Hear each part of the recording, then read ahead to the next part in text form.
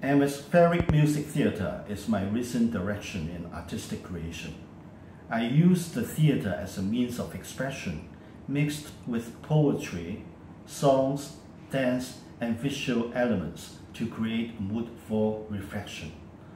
While things happen very slowly and calmly in the whole performance, I believe the audience could easily enter into a state of meditation.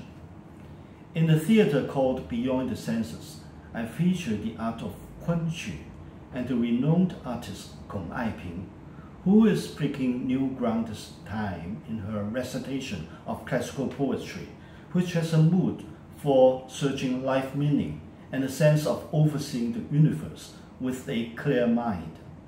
I expect Western audience to know more about Chinese art and the Hong Kong musical talents, and I wish them every success in the coming performance this July in London.